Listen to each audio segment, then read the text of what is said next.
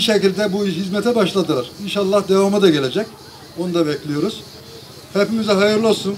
E, Bugün burada Erzin içmelerinin e, yenileme çalışmalarının açılışını gerçekleştiriyoruz. Tabii ki e, bir pandemi sürecinden geçiyoruz. Onun için biz herkese e, duyurmamaya çalıştık. Herkesin sağlığını düşünerek. Burada Erzin'imizi temsil eden insanlar burada. Onları da inşallah sosyal mesafeyle ve maskelerle kazasız belasız bugün atlatırız diye düşünüyoruz. E, Gerçekten içmelerimiz bizim için önemli. Hepimizin dilinde Erzin içmeleri, Ilıcaları, Şahin Tepesi, e, yaylaları, denizi e, bunlar hepsi bir bütün olarak biz, biz bakıyoruz. Geçen sene e, bu çalışmalara başlamak istedik fakat e, hemen başlayamadık. Bu seneye kısmetmiş.